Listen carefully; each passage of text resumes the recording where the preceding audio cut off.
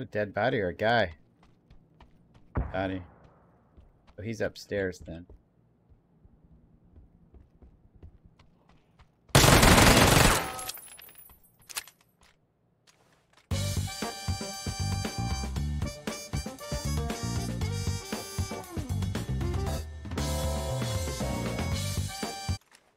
All right, give me your stuff.